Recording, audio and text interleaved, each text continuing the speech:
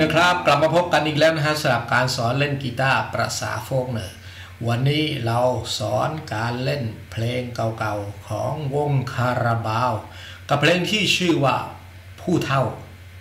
จะสอนการขึ้นอินโทร แล้วก็ดนตรีที่ตามท่อนร้อง สอนเล่นทั้งสองแบบครับ ก่อนอื่นไปดูวิธีการเล่นทั้งสองแบบกันเลยครับ ก่อนดูวิธีการเล่น กด subscribe ติดตามช่องโฟกเนอร์ก่อนครับ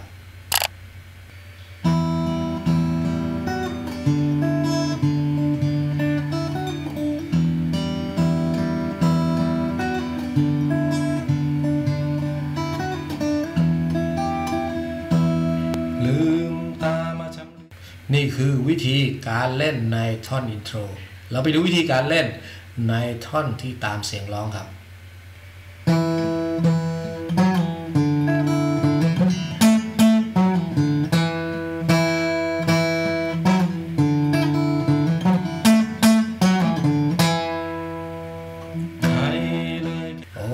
นี่คือดนตรีในระหว่างเสียงร้องครับ เราจะสอนเล่นทั้งสองวิธี ไปลงในรายละเอียดของการเล่นทั้งสองแบบเลยครับ โอเคครับทำความเข้าใจเกี่ยวกับการใช้นิ้วมือขวานิดหนึ่งนะครับ วิธีการเล่นของเราก็เป็นลักษณะของการเล่นแบบปิกกิ้งนะครับ นิ้วโป้งประจำอยู่ที่สายเบสสายที่ 6 สายที่ 5 แล้วก็สายที่ 4ทำหน้าที่ในลักษณะของการดีดลงนะครับ นิ้วชี้ประจำอยู่ที่สายที่ 3 ครับทำหน้าที่ในลักษณะของการดีดขึ้น นิ้วกลางประจำอยู่ที่สายที่ 2 ครับทำหน้าที่ในการดีดขึ้น แล้วก็นิ้วนางประจำอยู่ที่สายที่ 1ทำหน้าที่ในลักษณะการดีดขึ้น ประจำตำแหน่งวางนิ้วประมาณนี้ครับคล้ายๆกำลูกไข่ไว้นะฮะแล้วก็วาง โอเคนะครับ นี่คือการใช้นิ้วขวา ส่วนการใช้นิ้วมือซ้ายไปลงในรายละเอียดของแต่ละ part แต่ละ part กันเลยครับ เรามาเริ่มต้นกันที่ท่อนอินโทรก่อนนะครับ ท่อนอินโทรผมแบ่งการเล่นไว้ทั้งหมด 2 part การเล่นครับ ไปลงในรายละเอียดของ part ที่ 1 ของท่อนอินโทรกันก่อนครับ ท่อนอินโทรมีคอร์ดอยู่ใน part ที่ 1 มีคอร์ดอยู่ 2 คอร์ดครับ คือคอร์ด E minor แล้วก็คอร์ด D ไปดูวิธีการเล่นใน part ที่1กันกันเลยครับ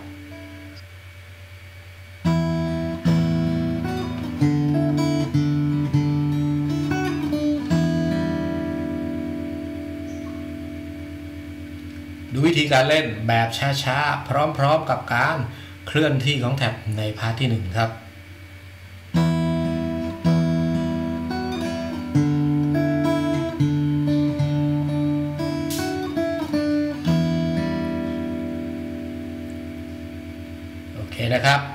ลงในรายละเอียดของการเล่นใน part ที่ 1 ของท่อนอินโทรกันเลยครับ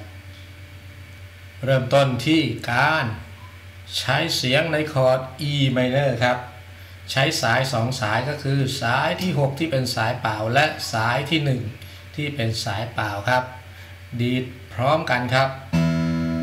และหลังจากนั้นก็ให้เกี่ยวที่สายที่ 3 ด้วยนิ้วที่มือขวาคือนิ้วชี้ นะครับนะครับ ก็คือดีดแล้วก็ลงที่สายเบสสายที่ 6 กับสายที่ 1 ก็คือเสียง E minor อีกครั้งหนึ่งนะครับ แล้วก็ให้เกี่ยวที่สายที่ 3 ที่เป็นสายเปล่าอีกเหมือนเดิมนะครับ ที่ได้เสียงที่ได้ก็จะเป็น ประมาณนี้ครับ แล้วหลังจากนั้นก็ให้ ใช้ตำแหน่งในสายที่ 2 ในช่องที่ 7 ครับ นิ้วที่เกี่ยวก็คือใช้นิ้วกลางเกี่ยว เกี่ยวแล้วก็ใช้เทคนิคที่เขาเรียกกันว่าพูลออฟก็คือดีดหนึ่งครั้งแล้วได้ 2 เสียงก็คือ จากเสียงที่เป็นเสียงสูงในช่องที่ 7 ลงไปที่ช่องที่ 5 ครับ เสียงที่ได้ก็จะเป็นนะครับ ก็คือดีดหนึ่งครั้ง จะได้เสียงนี้ และหลังจากนั้นก็ให้ไป ที่ช่องที่ 3 ในสายที่ 2 นี่แหละครับ แล้วก็ดีดเกี่ยวด้วยนิ้วกลางอีกหนึ่งครั้งพร้อม ๆ กับลงเสียงเบสที่สายเปล่าสายที่ 4 ครับนะครับ เสียงที่ได้จากจุดเริ่มต้นมาเลยก็จะเป็น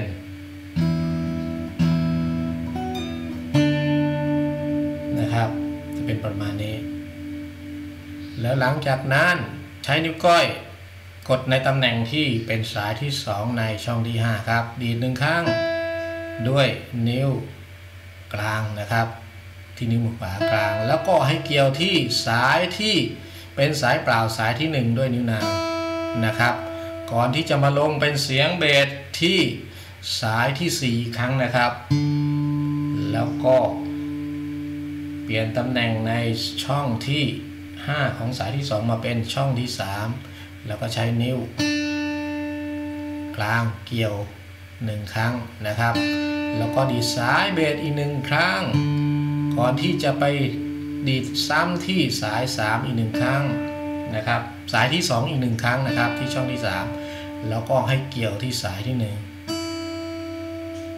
นะครับ แล้วหลังจากนั้นก็ให้ใช้ตำแหน่งในสายที่ 2 เมื่อเดิมครับ จากช่องที่ 7 นะครับ ใช้ลักษณะของเทคนิคที่เราเรียกกันว่าพูนออฟก็คือดีดหนึ่งครั้งจากโน้ตที่เป็นช่องในช่องที่ 7 ตรงนี้ แล้วไปหาเสียงโน้ตเสียงต่ำที่เป็นช่องที่ 5 นะครับ ดีดหนึ่งครั้งแล้วได้สองเสียงก็จะเป็นนะครับ ประมาณนี้ แล้วหลังจากนั้นก็ให้ไปที่ช่องที่ 3 นะครับ ให้ไปที่ช่องที่ 3 แล้วก็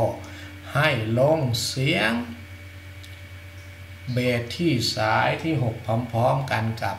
ตำแหน่งในช่องที่ 5 ของสายที่ 2 นะครับ ประมาณนี้ครับ และหลังจากนั้นก็ให้เกี่ยวสายที่เป็นสายเปล่าสายที่ 3 อีกหนึ่งครั้งครับนะครับ ไม่งงนะครับ จะเล่นรวมๆมาก็จะได้เป็น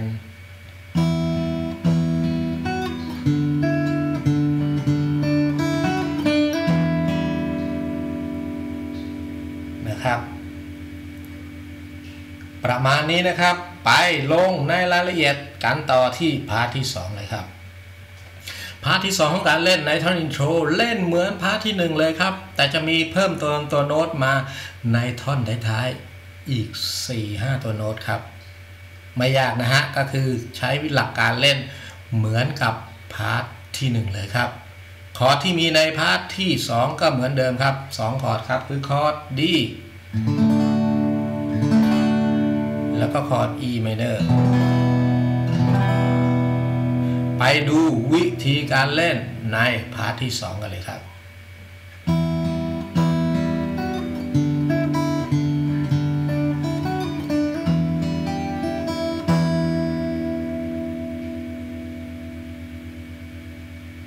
ประมาณนี้ครับ ไปดูวิธีการเล่นแบบช้าๆ ใน part ที่ 2 กันเลยครับ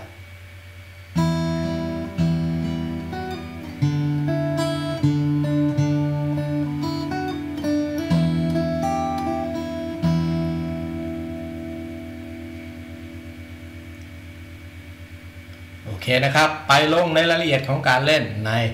part ที่ 2 กันเลยครับ พาร์ทที่ 2 ของการเล่นมีลักษณะการเล่น ไม่แตกต่างจากพาร์ทที่ 1 เลยนะครับ แต่จะมีเพิ่มตัวโน้ตในช่องท้ายอีก 5 ตัวโน้ตนะครับ จะเล่นตั้งแต่ต้นพาร์ทสอนตั้งแต่ต้นพาร์ทให้ดูอีกครั้งครับ เริ่มจากจุดที่เป็นสายเปล่า สายที่ 6 กับสายที่ 1 ดีด พร้อมกันแล้วเกี่ยวที่สายที่ 3 ที่เป็นสายเปล่า แล้วก็ดีดสายที่ 1 กับสายที่ 6 พร้อมกัน แล้วก็เกี่ยวสายที่ 3 นะครับหลังจากนั้นก็ใช้เทคนิคการพูนออฟจากช่องที่ 7 ของสายที่ 2 ครับ พูนออฟไปที่ช่องที่ 5 นะครับ ประมาณนี้ และหลังจากนั้นก็ให้ไปที่ช่องที่ 3 ในสายที่ 2 ครับ ดีดพร้อมๆ กับลงเสียงเบสที่สายที่ 4 ที่เป็นสายเปล่านะครับรวมๆมาเลยก็จะเป็น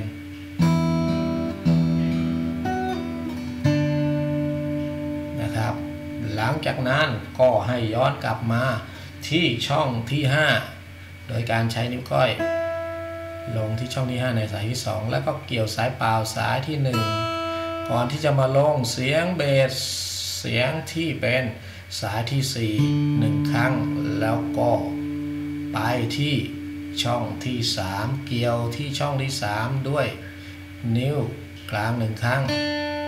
แล้วก็ลงเสียงเบส ที่สายที่ 4 1 ครั้ง ก่อนที่จะย้อนกลับไปที่ช่องที่ 3 1 ครั้ง แล้วก็เกี่ยวสายเปล่า 1 ครั้ง แล้วหลังจากนั้นใช้เทคนิคที่เราเรียกว่าพูลออฟอีกครั้งจากช่องที่ 7 ไปช่องที่ 5 นะครับ แล้วก็ให้ลงเสียงที่ช่องที่ 3 อีกหนึ่งครั้ง และหลังจากนั้นก็ให้ลงเสียงที่เป็นสาย เปล่าสายที่ 6 ที่เป็นสายเบสและสายที่ 2 ในช่องที่ 5 เสียงพร้อมกันอย่างนี้ครับ และหลังจากนั้นก็ให้เกี่ยวที่ซ้ำที่ช่องที่ 5 อีกครั้งหนึ่งนะครับ เกี่ยวสายเปล่าที่เกี่ยวสายที่ 2 ในช่องที่ 5 1 ครั้งนะครับ ด้วยนิ้วกลาง แล้วก็ใช้ตำแหน่ง ในสายที่ 1 ในช่องที่ 3 ครับนะครับ แล้วก็เกี่ยวที่สายที่ 2 ที่ช่องที่ 5 อีกครั้ง แล้วก็ให้ยกสายเปล่าสายที่ 1 ออกแล้วเกี่ยวอีกหนึ่งครั้ง ก่อนที่จะเกี่ยวซ้ำอีกหนึ่งเสียงครั้งพร้อมเสียงข้างหลังนี้ให้ลงพร้อม ๆ กับเสียงเบสที่เป็นสายเปล่าสายที่ 6 ครับนะครับ เสียงที่ได้ทั้งหมดก็จะเป็น นะครับ จะเป็นประมาณนี้ครับ โอเคนะครับ จะย้อนกลับไปเล่นตั้งแต่ต้นพาร์ทที่ 2 มาจบที่ปลายพาร์ทให้ดูอีกหนึ่งครั้งครับ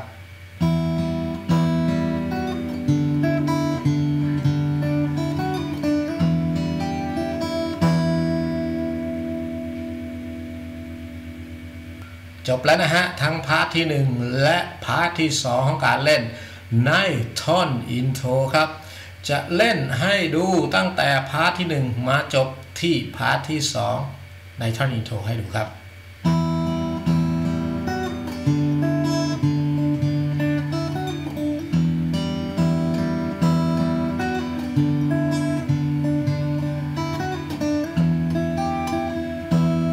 ลืมตามาชำเลืองดูโลกจะเป็นประมาณนี้ครับในท่อนอินโทรของการเล่นนะครับ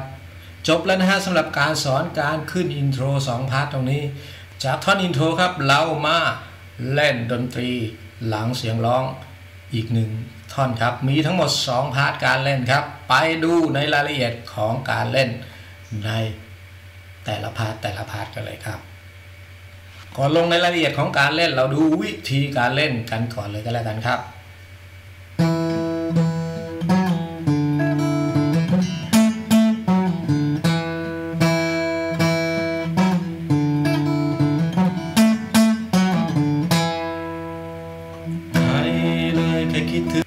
พาร์ทที่หนึ่งของการเล่นมีคอร์ดอยู่ 2 คอร์ดครับ คือคอร์ด E minor คอร์ด D ไปดูวิธีการเล่นในพาร์ทที่หนึ่งครับ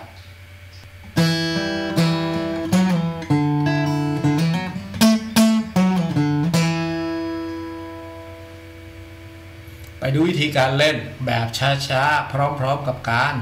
เคลื่อนที่ของแท็บในพาร์ทที่หนึ่งกันเลยครับ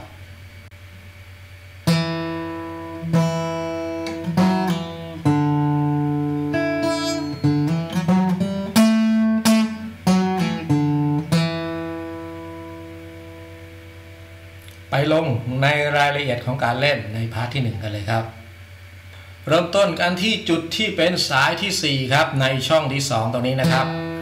ดีดพร้อมๆกับสายเปล่าสายที่ 1 ครับ โดยใช้นิ้วนางที่นิ้วมือขวาเกี่ยว ส่วนนิ้วโป้งที่นิ้วมือขวาให้ดีดลงไปพร้อมๆกันนะครับ เสียงที่ได้พร้อมๆกันก็จะเป็นประมาณนี้ครับ และหลังจากนั้นก็ให้เกี่ยวที่สายที่ 3 ครับ โดยใช้นิ้วกลางที่อยู่ที่มือขวาเกี่ยวสายเปล่าสายที่ 3 นะครับ แล้วก็ให้ไปลงซ้ำที่จุดเดิมก็คือที่ สายที่ 4 ในช่องที่ 2 แล้วก็สายเปล่าอีกครั้งนะครับ เสียงที่ได้ก็จะเป็น เสียงที่ได้ก็จะเป็น จะเป็นประมาณนี้ครับ และหลังจากนั้นก็ให้เกี่ยวซ้ำที่สายที่เป็นสายเปล่าสายที่ 3 อีกครั้งหนึ่งนะครับนะครับ เสียงที่ได้ทั้งหมดก็จะเป็น และหลังจากนั้นก็ให้ใช้เทคนิคที่เราเรียกกันว่าเทคนิคของการพูนออฟก็คือ ใช้ตำแหน่งในสายที่ 4 ช่องที่ 4 ครับ ดีดหนึ่งครั้ง แล้วให้ได้ 2 เสียงก็คือเสียงจากช่องที่ 4 กับช่องที่ 2 ครับ นะครับจะเป็นประมาณนี้ ดีดนะฮะใช้นิ้วโป้งดีดหนึ่งครั้ง เสียงจะประมาณนี้แล้วหลังจากนั้นก็ให้ปล่อยเป็นสายเปล่านะครับ เสียงที่ได้ทั้งหมดก็จะเป็น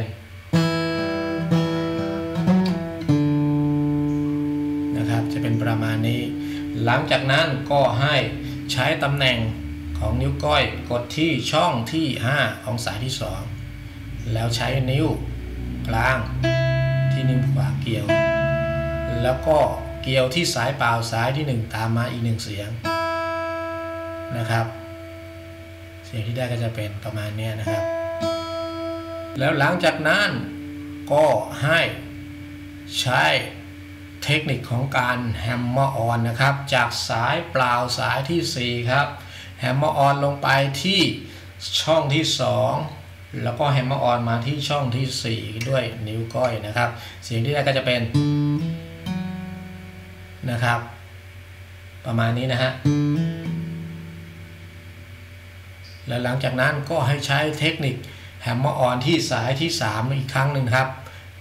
โดยการใช้สายเปล่า แล้วก็ hammer on ลงไปที่ช่องที่2นะครับ รวมๆเลยก็จะเป็นนะครับ เล่นรวมๆตั้งแต่ต้นพาร์ทมาเลยก็จะเป็น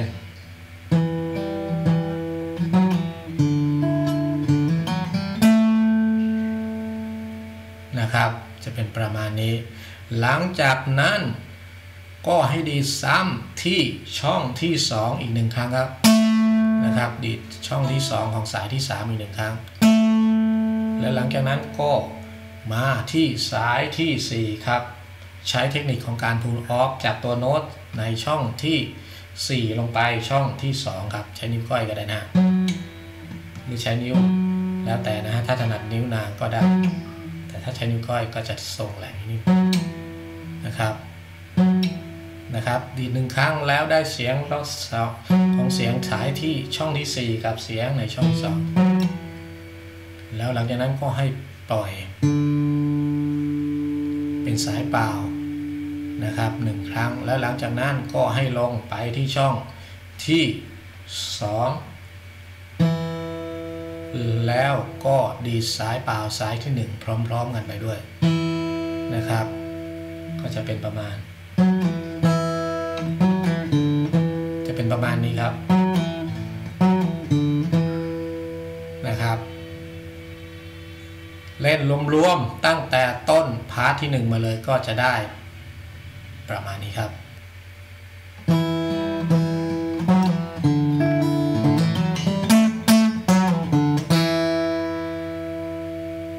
โอเคนะครับ จะเป็นประมาณนี้ครับในพาร์ทที่ 1 ส่วนในพาร์ทที่ 2 เหมือนกันครับ เล่นเหมือนกันคล้ายๆ การเล่นซ้ำกันเลยนะครับ ก็ไม่ต้องสอนนะครับ เดี๋ยวผมจะเล่นให้ดูทั้ง 2พาร์ทแล้วจบนะครับ ไปดูเลยครับ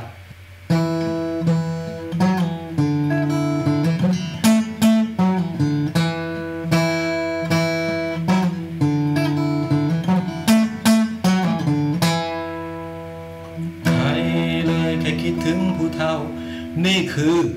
ดนตรีหลังท่อนร้องท่อนที่หนึ่งครับ จบลงตรงนี้แล้วนะฮะสำหรับการสอนเล่นทั้งอินโทรแล้วก็ดนตรีหลังเสียงร้องในท่อนที่หนึ่งแล้วคลิปต่อไปเรามาสอนกันในท่อนการเล่นในขณะที่กำลังร้อง และจะมีท่อนโซโล่ด้วยนะครับ โอเคนะครับสำหรับคลิปนี้ไว้ตรงนี้ แล้วกลับมาพบกันใหม่สวัสดีครับ